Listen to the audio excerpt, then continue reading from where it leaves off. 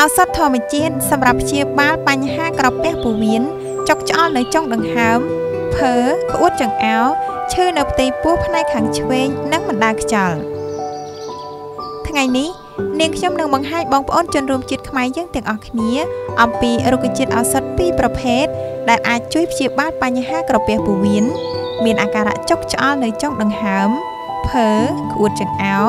ឈឺនៅផ្ទៃពោះផ្នែកខាងឆ្វេងបណ្ដាខ្យល់ ជាតិពុលនៅក្នុងពោះវៀននោះ ហើយដែលបញ្ហានាំឲ្យចុកក្នុងផ្ទៃពោះស្ទុំស្ទុំ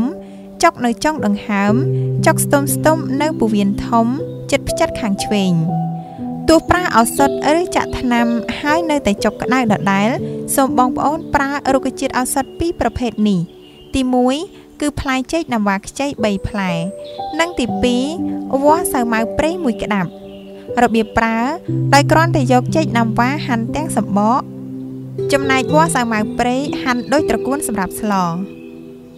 រួចហើយយកវត្ថុទាំងពីរនេះទៅលីងឲ្យស្រពោនបន្តិច បន្ទាប់មកដាក់ដាំជាមួយទឹក2លីត្រហូបតាមធម្មតាបើលែងចុកហើយបើជាហើយសូមមេត្តាឈប់ហូបវាចាស់ដើម្បីកុំឲ្យវាស៊ាំទៅនឹងថ្នាំនេះមិនមែនជាការគ្រាន់តែលើតាមគ្នាទេមិនមែនជាការពិសោធន៍ទេ តែវាជាការច្បាស់លាស់ សូមអរគុណដែលបានមើលវីដេអូនេះសូមចែករំលែកទៅមិត្តភ័ក្តិនិងគ្រួសាររបស់លោកអ្នកផង